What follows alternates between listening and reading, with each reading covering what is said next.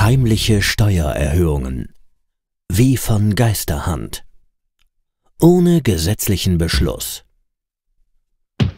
Die Rede ist von der kalten Progression. Was steckt eigentlich hinter dem Begriff und den Gerüchten? Bei der Erklärung helfen Nils und Tina. Beide wohnen in Deutschland und verdienen dort ihr Geld. Nils hat ein Einkommen von 30.000 Euro im Jahr, Tina von 45.000 Euro. Die Besteuerung ihrer Einkommen richtet sich nach ihrer wirtschaftlichen Leistungsfähigkeit. Das heißt, je höher das Einkommen über dem Existenzminimum liegt, desto höher ist auch der zu zahlende Steuersatz. Man nennt dies Steuerprogression. Nils landet mit seinem Einkommen bei einem Steuersatz von 19,7 Prozent. Weil Tina mehr verdient, zahlt sie etwa 25 Prozent Einkommensteuer. Angenommen, Nils erhält eine fünfprozentige Gehaltserhöhung, also 1500 Euro mehr. Im Steuertarif rutscht er damit in einen höheren Steuersatz. Mit 31.500 Euro Einkommen muss er nun knapp 20,5 Prozent Steuern zahlen. Das entspricht etwa 500 Euro mehr Steuern.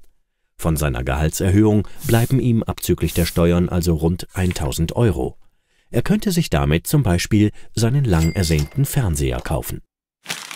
Anders sieht es aus, wenn nicht nur Nils Gehalt, sondern auch seine Lebenshaltungskosten wie Miete, Energie oder Nahrung um 5% ansteigen.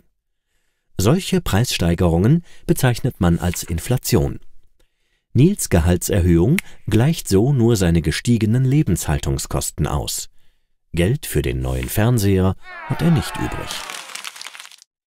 Nils kann sich also trotz seiner zahlenmäßigen Gehaltserhöhung real nicht mehr leisten. Dennoch rutscht er durch die Progression in einen höheren Steuersatz und zahlt mehr Steuern. Dadurch kann er sich insgesamt real sogar weniger leisten. Dies nennt man kalte Progression. Sie entsteht immer dann, wenn Preissteigerungen im Steuertarif nicht berücksichtigt werden. Die kalte Progression könnte von vornherein vermieden werden, zum Beispiel indem der Einkommensteuertarif regelmäßig an die Preisentwicklung angepasst wird. Möglich wäre auch ein einheitlicher Steuersatz für alle, allerdings würden Geringverdiener dann deutlich mehr und Vielverdiener deutlich weniger belastet werden. Dies ist kaum mit dem Grundsatz der Steuergerechtigkeit vereinbar. Führt die kalte Progression also zu automatischen Steuererhöhungen? In gewisser Weise schon.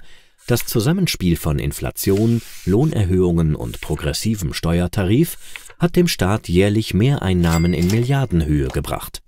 Allerdings gibt es Bemühungen, dies zu ändern, wie zum Beispiel das Gesetz zum Abbau der kalten Progression zeigt